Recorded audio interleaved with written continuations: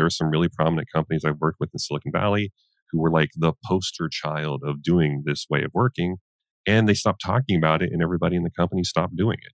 And they were really surprised. The, the quote they said to me, which I'll never forget, was it was in our bloodstream, but it wasn't in our DNA, which meant it was something that was happening, right? But it wasn't really a part of how they worked. And as soon as the leadership stopped talking about it, people just stopped doing it and they went back to working the way they did before. And they had to restart that entire program again. So I feel like for those of you listening, you know, if you feel like you're being too repetitive or, oh, well, people got this now, I'm just going to move on. Don't uh, keep repeating it. It's part of your job as leaders to keep repeating this and showing it and enabling it and creating a culture and an environment where people can work this way. It never stops. Creating great products isn't just about product managers and their day to day interactions with developers. It's about how an organization supports products as a whole, the systems, the processes, and cultures in place that help companies deliver value to their customers.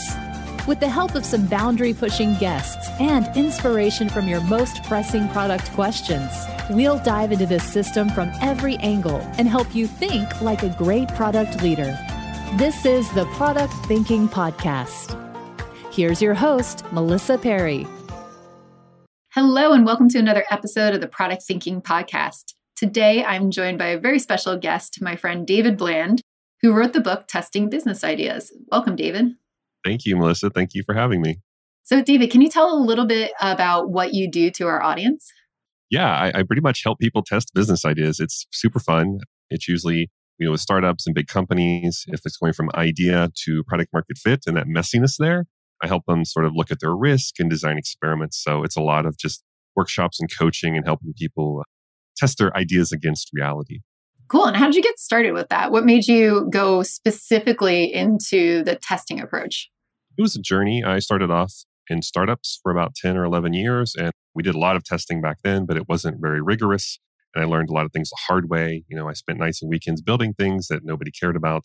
And I thought there has to be a better way. And so when I started learning about lean startup and more about design thinking, I thought, oh, we should bring that more upstream and see if we can help solve real problems. So I'm not wasting my time building things nobody wants. And, you know, I moved out to, to San Francisco Bay Area and I started helping companies kind of do that. And I realized, wow, there's something here, you know, to help people early on.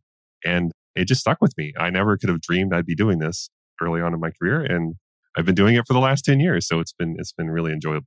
What I really love about your book too is that it goes through so many different ways to test business ideas.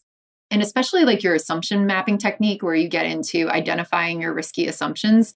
I even use that with my students to kind of outline a part of a case at HBS and they were like, "Oh, I didn't never really thought about it that way." Can you walk us through a little bit about how you think about identifying assumptions. How do you really define the risk about them and what that means for testing?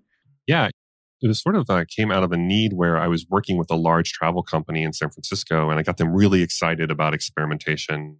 And unfortunately, they would just experiment on everything just to see what happens. And when I was talking to the VP of product there, she was like, mm, I'm not super excited that they're just running experiments. Like, we need to really de risk our new ideas. And I came about this two by two, you know, working with Jeff and Josh who wrote Lean UX and eventually customized it quite a bit because uh, that's what I do. and uh, ended up pulling in a lot of these themes from design thinking. So desirability, viability, and feasibility. And I thought, you know, if we can capture all three of those and talk about risk, we should get a balanced team in the room and be able to narrow in on like what are the most important things where we have the least amount of evidence. And if we're going to experiment, let's experiment there. And so I thought that was focusing mechanism, I just use it for a conversation. You know, it's more of a structured conversation. It's less about the map itself, but more about can you focus your team on what's this stuff if, if proven wrong, our entire thing falls apart. And so I use that as just a focusing mechanism, and then we run our experiments from there. Yeah, and you identify too the assumptions in three different categories. You're talking about like viability, feasibility, and desirability. When you work with teams to go over, you know, those three and really identify assumptions, is there any one of those in particular you find that's harder for teams to come up with assumptions about or something they maybe like neglect to think through? It's usually viability. I've noticed teams really focus too much on feasibility, and pretty much you can build anything at this point. You know, now granted, there's some regulatory and governance. You know, when I'm working in the healthcare space or financial services, Just because you can build it doesn't mean you'll be allowed to do it. That is a point. But I feel like that's what they're used to. They feel comfortable in. That's their domain. They can just work through, can we do it? But, you know, you also need to talk to customers, which is more desirability. And then you have to figure out the cost and the revenue and whether or not it's, you know, something viable for the business. And I feel like so often people go, well, that's not my problem. I just build it and it's someone else's problem to figure out the business model. But more and more often, that needs to be a part of your problem. you know, you need to be thinking about it. Even when I work with R&D labs in Silicon Valley, they're now being asked to figure out some of the business model before they just throw it over the wall, right? And so I think viability, it's just really hard to think about how do we test pricing or how do we test and keep the cost low enough. So I find that viability is one of these things that teams really struggle with how to do, you know, just basic price testing and, and cost analysis.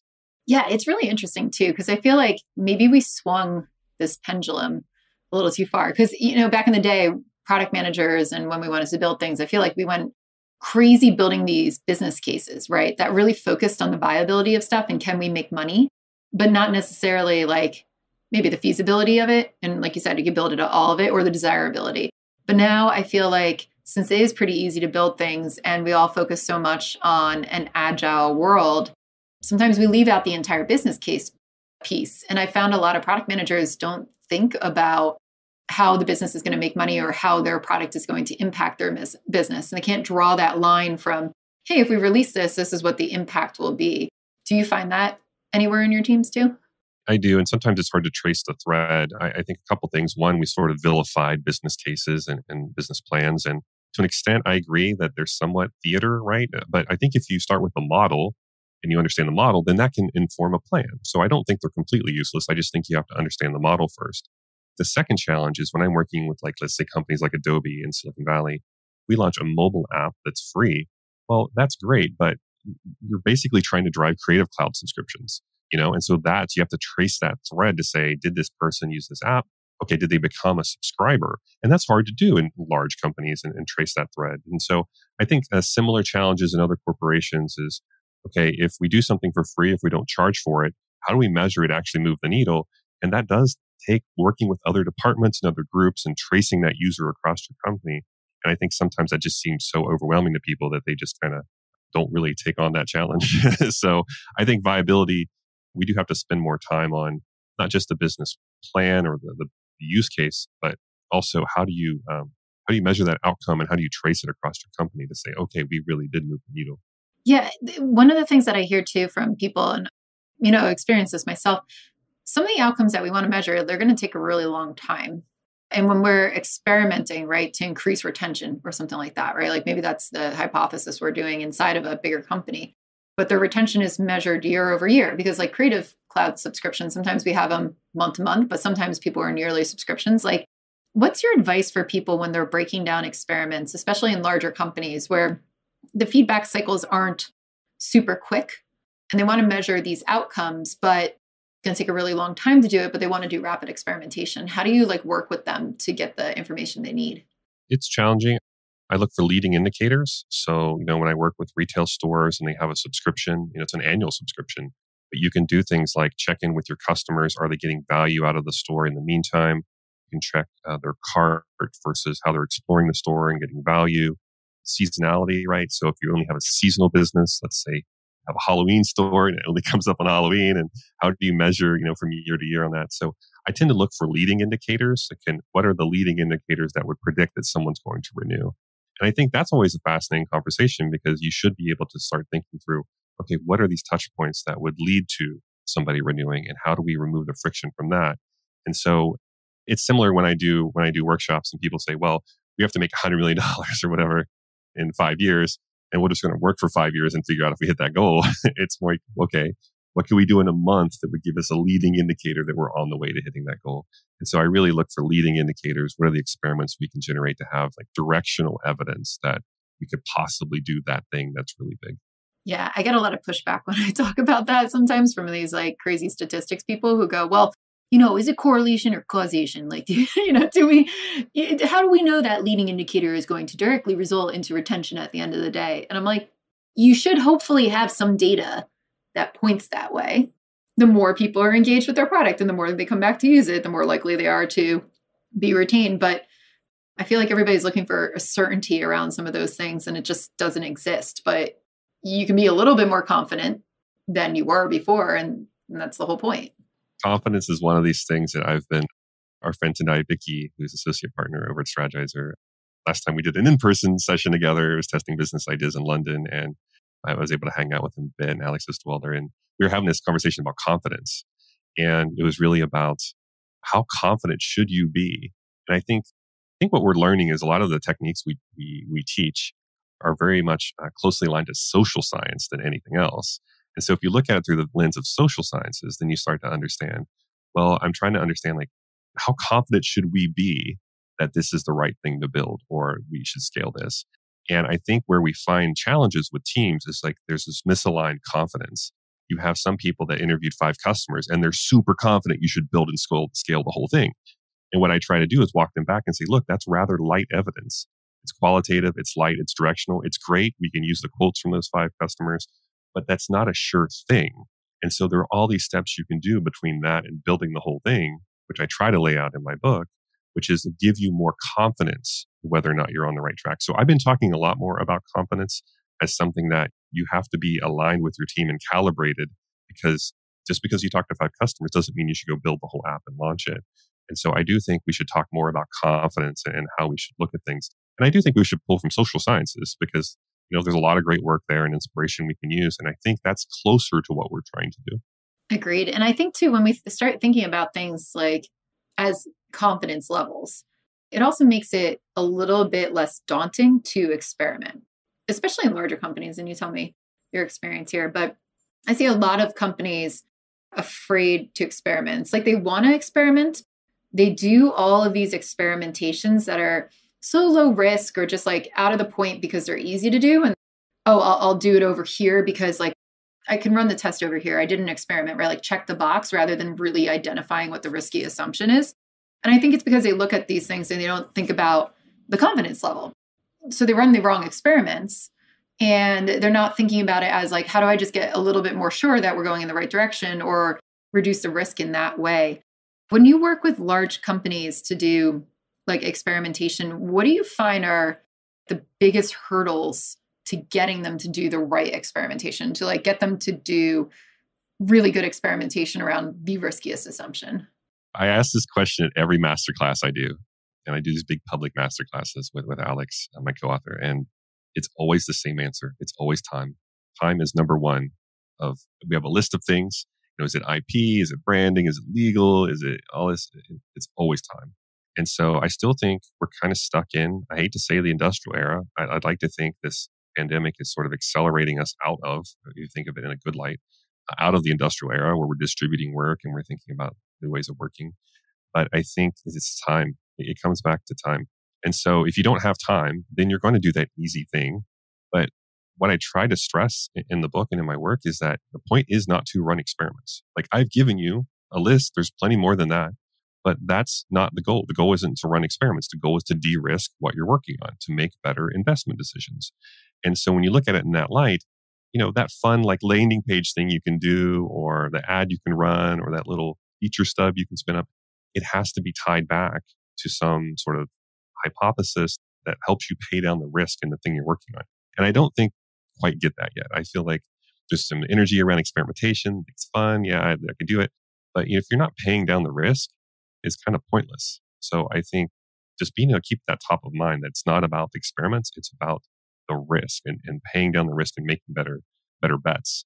And so I really try to keep that language when I'm talking to people inside corporations.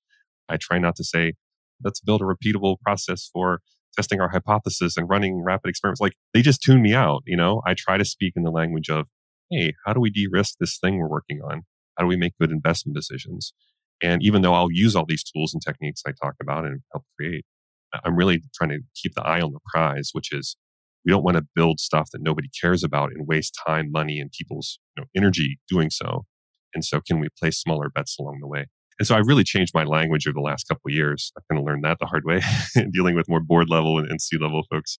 It, it just take, talking about words that they understand and they care about. As soon as I throw, let's use this canvas in front of them, they feel like I'm more excited about the canvas than helping them out. And, and that's not the case. That's how they interpret it. So I really, really try to watch my language and the words I use when, I, when I'm dealing with folks in big companies. Yeah, I agree. That was the lesson I learned as well, especially like connecting things back to like the outcomes they want to achieve from a financial perspective and drawing the line back to experimentation that way. I find that incredibly helpful. One thing I've noticed though with larger companies, and I want to hear how you've successfully implemented this. This has happened to me quite a few years ago. I want to say like seven years ago. But when I see larger companies try to teach experimentation internally or get their teams to be more experimental, I find it doesn't stick. One company, I can tell you why it didn't stick, but I want to hear like how you've found it sticking, um, how you make it stick. So, like one company tried to pull some teams out of normal work and turn them into like a lean team, they called them, and teach them experimentation. But we spent, I spent like six months coaching them, taught them how to do experimentation. I found the things that they were experimenting around though were like made up stuff from the company that had no bearing on anything whatsoever, right? Like they were just, oh, here's some random stuff, go learn experimentation. And then when it came down to actually executing on the experiments that they ran and, you know, following them through, they were like, oh no, you're done now. Like you're a lean team, move on to the next experiment, right? Instead of like turning it into a product. And this whole team got like incredibly demoralized. And they were like well we want to work this way and like we want to build great products but like you gave us junk to work on basically. You know they all dispersed back into the organization and you know were really upset that they didn't follow through. And i was like man i just spent six months teaching these people how to do this thing but there's no follow through there's no like see through so i feel like they think about you know what you were saying experimentation for the sake of experimenting. Like check we ran a bunch of experiments we did it how do you find like what what do you find is the right setup and the right conditions for a company that really does want to learn experimentation not just train a bunch of people in it but like wants to be experimental? What do they need to do to make sure that that sticks? It's a big challenge you know i think i won't name i won't call out companies but the companies i've worked with they were very high profile billion dollar companies in the past couple years. Uh, where it didn't stick was they took this check the box mentality to it. So i ran experiments check what else do I need to do to just launch the thing I already want to launch? And if you take that, if that's your mindset, then no amount of training is really going to help you. Um, you really need to talk about how are we de-risking things? How do we changing our mindset on how we approach things? But if it's just another box they have to check to get to the thing they want to build, then it's not going to stick. It's going to be, be theater. And so I've been really trying to, uh, one, work on real ideas. So I don't talk about this publicly a lot, but all my work behind the scenes, if you don't hear me, you know, you don't hear from me for a while, it's because I'm behind the scenes working on real businesses and real ideas. And so what I've tried to do over the course of, I'd say the last five to seven years has been every time I do a workshop, it's on real opportunities that teams are trying to figure out. And I think that has been, that's worked out really well for me because I can take something that they're kind of worried about that has high uncertainty and I can take the people that know about that thing and are working on it and I can say, look, here are some new tools for you to think about this a different way. And we're going to practice them on your real opportunity. So the way I've designed all my, all my stuff has been, it's really been a learning experience for me, but I'll introduce a concept. I'll introduce a fun case study that's really short. And then I'm like, okay, now we're using it on your real stuff. And I feel like dual track of, yeah, I'm learning a new tool, but I'm also learning it on something that's a real opportunity has really helped that a bit as far as just making it stick. And so I don't really do training anymore where it's like a team that's pulled out and they only work on new stuff, or I don't really do training for just functions anymore. It's almost always like a cross functional team that is working on a real opportunity. I feel that that's helping it stick. Now, you still have to have leadership uh, evangelize it and say that it matters and actually show action that it matters.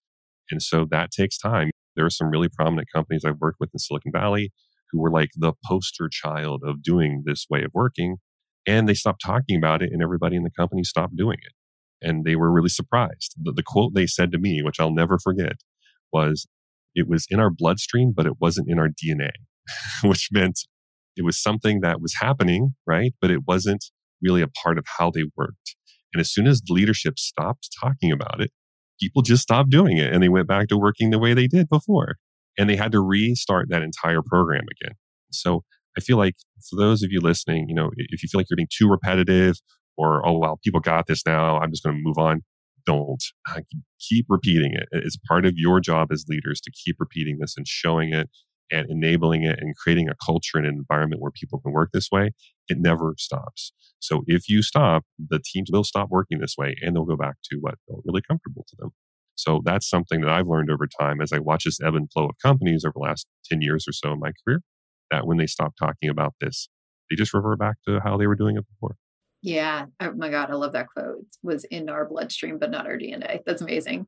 And it's true. It's like it's not embedded. I also tell leaders too when it comes to strategy and stuff like that. I'm like, if you don't feel like you repeated it 40,000 times, it did not sink into your team, right? Like you can't just be like, oh, here it is, and then walk away. And I think you have to be so repetitive as a leader to like make sure it's really sinking in and people are doing that. So when it comes to leaders too, I get the question all the time like, how can we experiment around our product strategy as well from like a higher level perspective? So let's say like we've got this whole company moving forward teams are already out there. We're not a giant corporation so we don't we can't really just like pull out teams. How do we test things like is going up market the right move? Is going down market the right move over here what types of experiments do you see at that level happening and what would you advise for like a product leader on setting capacity to like look at teams to go after that what types of experiments do they run i think a couple ways I've seen this theme in the companies I work with where they're trying to take what they are already domain experts in and have a lot of um, expertise in, and they're trying to reimagine it in a different way. So when I'm working with paint companies, so I work with one of the biggest paint companies in the world. They're trying to become a color company. They don't want to be known for paint anymore. They want to be known for their for their color expertise. When I work for automotive companies, they want to be known as mobility companies now. They don't want to be known as car companies. And so uh, when you start looking at through that lens, and you have leadership that's buying into that and they say you know oh with our strategy we, we want to use our expertise but do it in different ways and monetize it in different ways then what i tend to do is say okay well let's model out what that could look like as, as a business model let's look at our risk and let's run like the smallest experiments that would have to be true for that to even begin to work and you know i've done that at the, the C level and I, it works surprisingly well and i'm kind of not asking them to do something that's completely out of their domain I'm asking them to leverage what they're already good at, but in a different way. So with car companies, and you can look at the commercials and you can see what people are doing. You know, some of the car companies I work with that are now mobility companies, they're investing in, you know, AI startups and mo- urban mobility startups and robotics and things to kind of feel out what's next. You know, what is the next about mobility? It's not just about putting someone in a car and selling a car now. It's about getting somewhere A to B or helping somebody become more mobile in their home, even. And so I think when I work with leaders like that, it's just really refreshing. And what I try to do is just say, how do we test our way through that strategy? Because it's not a, even though you're an expert in it, it's not a sure thing to just go execute on that strategy. And now you're making uh, all this money in a different, quite a different space. So I use somewhat similar, same, uh, same framework for that. I like that. Did you know I have a course for product managers that you could take? It's called Product Institute.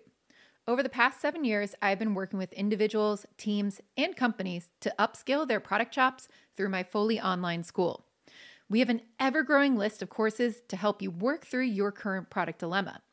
Visit productinstitute.com and learn to think like a great product manager. Use code THINKING to save $200 at checkout on our premier course, Product Management Foundations. I find that it's the same type of concept as if you were de-risking a feature too, like de-risk your strategy to go into that area. And I, I feel like we need to be experimenting at every single one of these levels as product people. But I think sometimes, like I get this argument a lot, more from startup founders. I don't know why, but that you can't like you can't experiment around like truly life changing ideas and stuff like that, right? They always throw out the Steve Jobs iPhone thing. You can't experiment around that I'm sure you have a standard way to answer that question. What would you say to those people who are like, we can't just test it with users because they can't even conceive it? Like, we're the all knowing, omni powerful people over here. Yeah, you, you were laughing when you asked that question, and I know exactly why. And I just had this in a recent, I work with a lot of accelerators, not just in Silicon Valley, like all around the world now, virtually. And I just had one where the first 30 seconds of the workshop, I knew that this one founder was not coachable you can tell it pretty quickly. They explain everything away. They have all the answers. They often quote Steve Jobs at you or Elon Musk. Now Elon's a new Steve Jobs. And when I do these things in Silicon Valley, I get even more of that. I had a group of 20 blockchain startups come through And, you know, everything's like, well, we can't test that because it's on the blockchain and, and all that.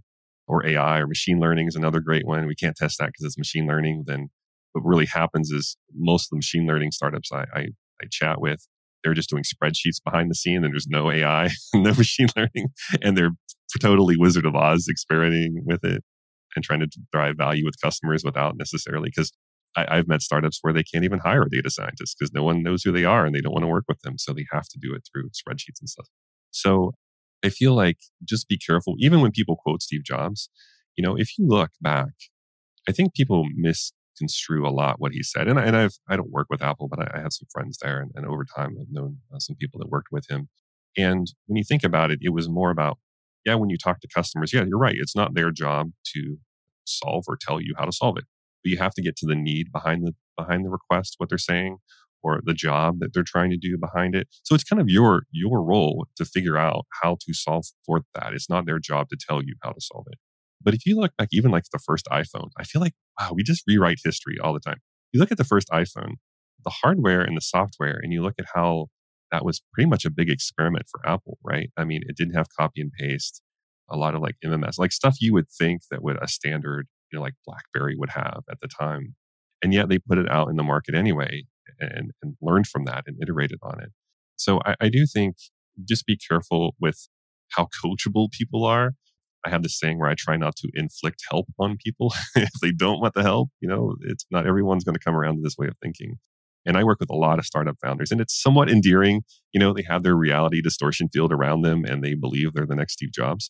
But in reality, like they have to test that vision against reality. And, you know, if they get it right, they're brilliant. And I'm saying, okay, kudos to you. But so, so many get it wrong.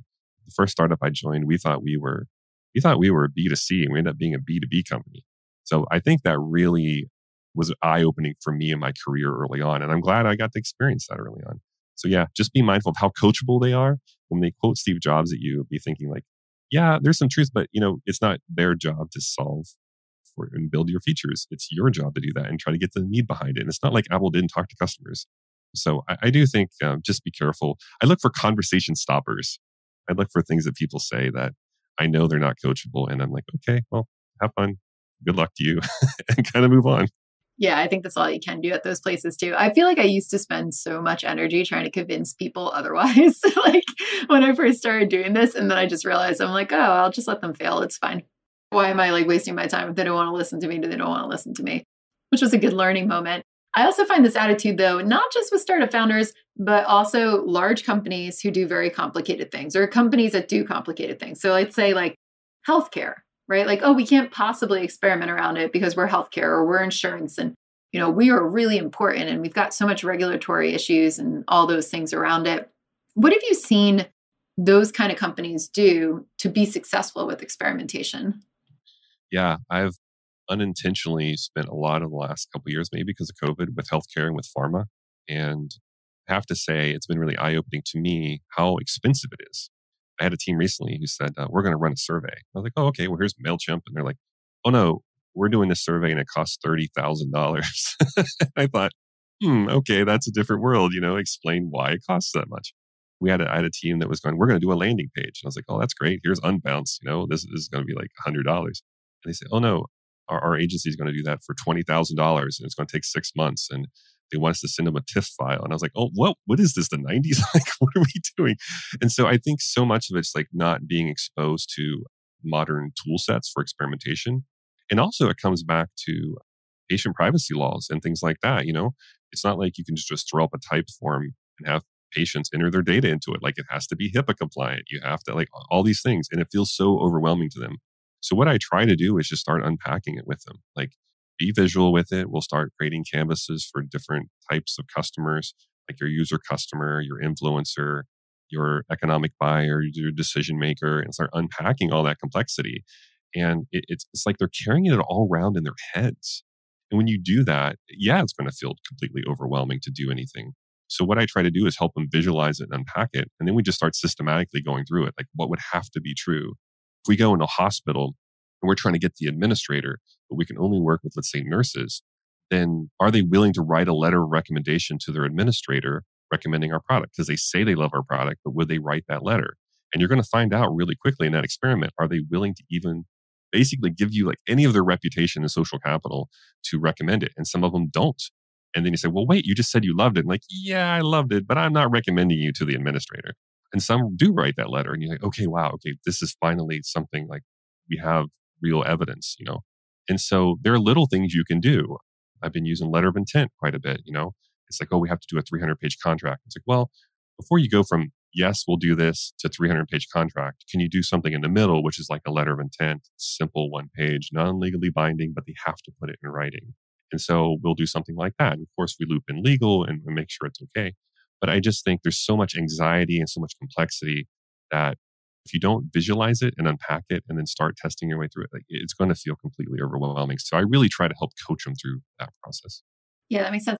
If we keep in mind the whole concept of like de risking, like you said, like becoming more confident, it makes experimenting easier or like more obtainable to people because it's not like an end all be all with experimentation. I find like when it comes down to really big things or very complicated stuff with healthcare, like I've worked with tons of healthcare companies recently too. They look at all the experimentation like a B2C company would of like, oh, I can A B test that product and know immediately whether it's going to work or not. And what I love about your model and with the assumption mapping is it's not necessarily just about like testing the concept itself directly. It's about getting more confident as well about the key assumptions that would go into making that product better. And I feel like that's just more obtainable for some of those companies as well. Instead of thinking about it as like, yeah, let's just put like a the whole product out there and like see if it works, right? It's it's about figuring out the pieces are really going to come together, not the whole thing. Yeah, a lot of the experiments I've been drawn into, especially pre and uh, right before the pandemic and during the pandemic, have been telehealth, tele telemedicine, teledentistry, and you know something that felt so overwhelming, like oh, we have to build an app for that right right away. I have teams that just do FaceTime. They just line up patients and doctors and they have them FaceTime each other and, and do it that way to see what are some of these insights we're going to gain from just real people getting value out of it. And what you learn from that, you can use to inform your app if you so so do so, right? Or define like create a platform. So, you know, you can use existing tech a lot. So a lot of things been, you know, digital now because of COVID. Yeah, you can certainly test your way through this. It's just more of having leadership support, being having somebody that can coach you through it and unpack this stuff that's all jumbled around in your head and just feels completely overwhelming.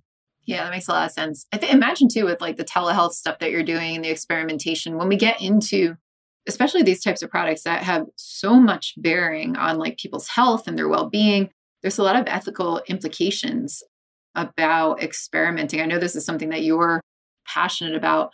What have you seen go awry when it comes to experimentation that actually really borderlines ethics and you're like that's not good experimentation how can these companies kind of mitigate that risk too yeah this has been something top of mind for a while for me i think we've all been in a situation in our career where we start we're asked to do something we go hmm, am i going to regret doing this you know like there are these moments in our career and as we grow older and we have more experience i feel like um, we start to have hopefully stronger opinions about it all I wrote in the book is kind of this idea of testing with your customers, like not testing on your customers. And I think that's still my guiding principle of if you're doing something, it feels like you're testing on them, really take a pause to say, is, is there a better way that we can do this? And so I've been really pushing teams to work, do a lot more co creation. A lot of the preference and prioritization experiments I have in the book, which I pull from Luke Hohmann and Innovation Games and some other sources, I've been trying to do that more of that, where can you do something that feels more like co-creation versus just testing on your customers and so you know i've been interviewed about this topic a lot over the last say six months to a year and i do see other people in industry start talking more about it and i feel like yeah ethics and product and business of course that matters when we come to experimentation I, I do think again pulling from the social sciences because even the social sciences have guidelines about what you should and shouldn't do right and not causing harm and so I do think there's a great foundation there because a lot of what we do, again, is close to social sciences applied to just product business. And so we don't have to recreate everything. We can pull from that great body of knowledge. And so what I've been trying to do is help teams think through, okay, can we test with our customers here? And I haven't talked a lot about this, but I made some explicit decisions in the book not to include experiments that I did not feel were ethical. I used to, you know, help run lean startup meetups in San Francisco, and I've seen a lot over the years. And I'd see some teams come up and, and talk about stuff, and I was just like, "Wow, you you did that!" Like, like, oh, I have to go take a shower now. Like, it just feels dirty to me, right? I do think, you know, I tried to make some intentional decisions about not to include those and to put them in writing and say, this is how you do this thing that I don't think is ethical. Things like, you know, taking your competitor's site and just rebranding it your own and testing with customers. I mean, one, that's not necessarily morally correct. And then also, if you're a big company, that's a great way to get sued. so why would you go and do that? Just little things like that. And so I've been trying to push this conversation this way for a while. I think there's a lot more work to do. But I feel like this guiding principle of testing with your customers and not on your customers, if that's your guiding principle, then some of the practices you use, you can start looking at that, those principles saying these align to the principles that we're espousing. Yeah, I wonder where, like, how you think about things too. I've heard people say this to me. I could think of ways where you can get around this, but like when you're testing things early on, you're delivering value to your, your customers, but you're taking money from them as well, right? Like, let's say you're testing a service you're gonna you're gonna totally concierge it deliver it manually. But you want people to pay for it because you want to see like people are actually paying for the service. I've had a lot of people be like oh that's unethical or larger companies be like we can't take money for that. We're not delivering them a product. Is that really unethical or have you found ways to be able to do that and test that? And what should be the guidelines around it to make sure that you're you're being good to your customers and you're doing right by them? Yeah i completely agree with that stance. I think you know basically it doesn't always have to be a product in which is the mechanism which you deliver value, right? So if you really focus on customer value, that doesn't always have to be a product or, or a service. Like there's different ways you can deliver that value. And I, I think we've gotten too caught up in just it's all about the product. It's all about features and how it looks and everything. But you know, when I teach things like a business model canvas, what I've been doing more often is taking that product and putting it on the backstage as like a key resource. It's like just think of your product like a resource. It's not so much about your product; it's about the value that you deliver and your value proposition to your customers. And so when you think of it that way, it's kind of similar to my comment earlier about companies reimagining what they do and how they deliver the value because of their expertise. Like, how do they deliver that and monetize it? And so when you think about it, it's not so unethical to think of, well, I'm delivering value and they're paying for that value. That should be okay. So the vehicle in which you deliver it can be various different ways. And so, yeah, I, I feel like it's very product centric approach to everything, right? Of it has to be about the product. But in reality, it should be about the customer and are you delivering value? And Alex and I try to do, we try to frame this as uh, a high value jobs, right? So if you're solving something that's really valuable to a customer and is valuable to you as a company, you should charge for that. Doesn't mean you scale it, doesn't mean you're charging a premium for it.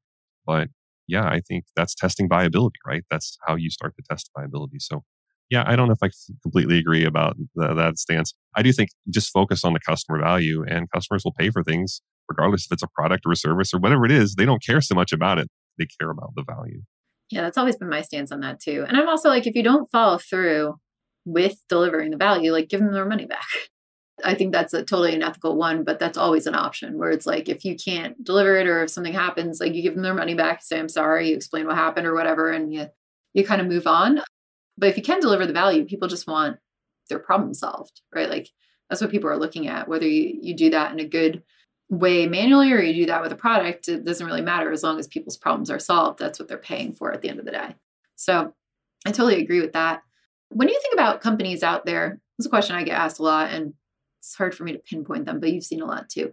When you think about all the companies out there, are there any ones that stand out in your mind as like, man, they are doing fantastic experimentation, or I've seen them do really good at that. I usually have my go tos on this one. You know, some I've worked with, some I haven't.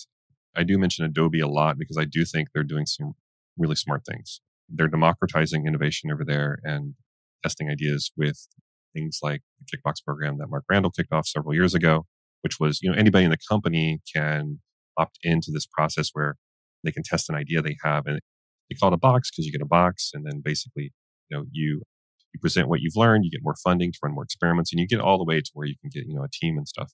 You know that may not result in a real new product idea but you're leveling up people where they can then take that energy and apply it to their day-to-day work.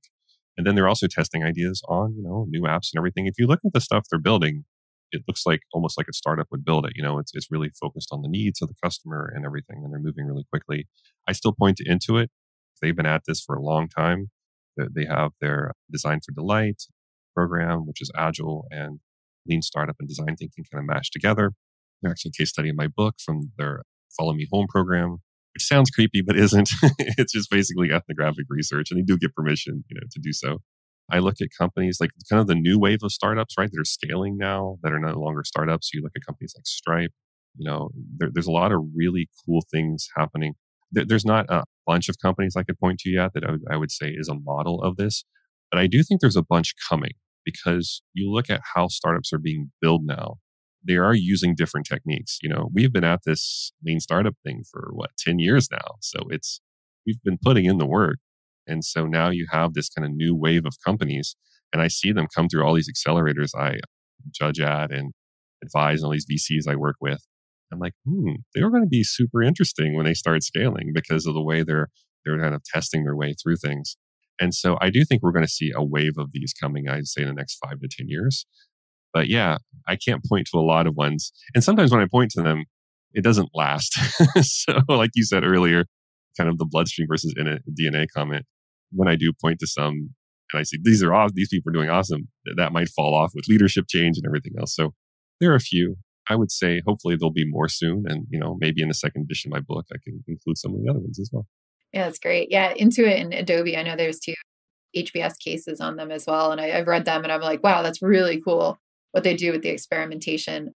Fantastic processes for large companies, especially if you're a large company looking to understand how people adopt experimentation. But the key part there, I think, too, is they all started with top leadership saying we want to do this way. Like both of those is just really starting at the top. It wasn't like a homegrown thing from the ground up. They were like, we're we want innovation. We're going to empower people to do this, and we give them the space to do that. And I I love those two approaches.